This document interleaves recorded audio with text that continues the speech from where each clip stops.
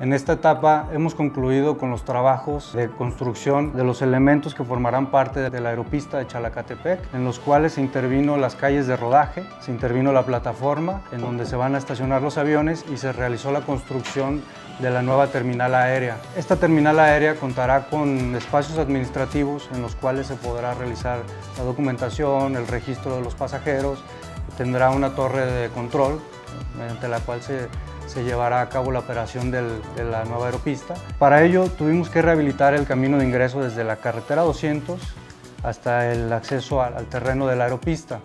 También hicimos el estacionamiento que contará con 27 cajones, tendrá espacios para personas con discapacidad y bueno, pues se pretende que la operatividad sea en ese sentido. Llegas de la 200 hasta el estacionamiento, te bajas con tu equipaje, mediante eh, una superficie prácticamente a nivel, llegas a la terminal aérea, haces tu registro y bueno, pues posterior a eso esperas abordar el vuelo. ¿no? Para ello realizamos trabajos de reconstrucción de lo que ya existía. Es una pista que consta de una longitud de 2.2 kilómetros, tiene una sección de 60 metros, se pretende que pueda operar un vuelo comercial. Se realizó el reencarpetamiento, es una obra que ya tenía más de 10 años abandonada. Se realizó una revisión conjunta con SCT, se dictaminó el procedimiento a seguir para cumplir con los elementos y que pudiera ponerse a operar, en lo cual SST nos solicitó que se rehabilitara la carpeta existente, ya presentaba algunas fisuras, por lo que se tuvo que hacer una limpieza profunda, un barrido profundo de la superficie,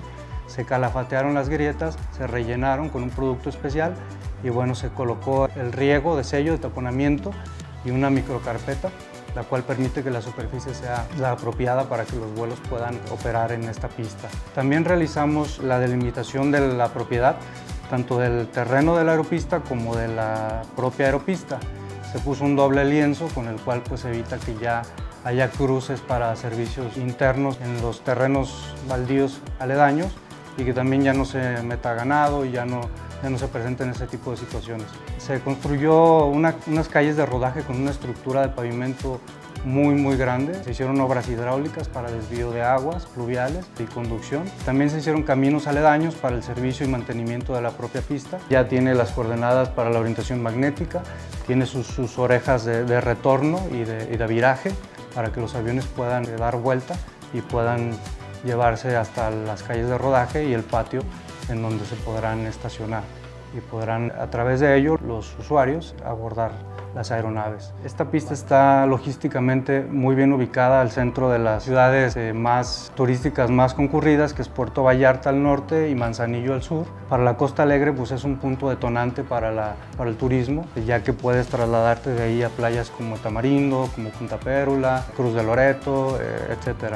Entonces realmente es un, es un punto que viene a sumar a la conectividad turística en este sitio, al igual que las carreteras que ya vienen de Talpa Llano Grande, Tomatlán y Villa Purificación Chamela. Al fin podemos decir que se encuentra concluida. Llevamos la línea de media tensión para alimentar la, terminal aérea y bueno, pues cuenta con todos los servicios también de, de voz y datos para que sea dotada de, la red Jalisco y prácticamente estaremos entregándola en estos días ya a la Secretaría de Turismo.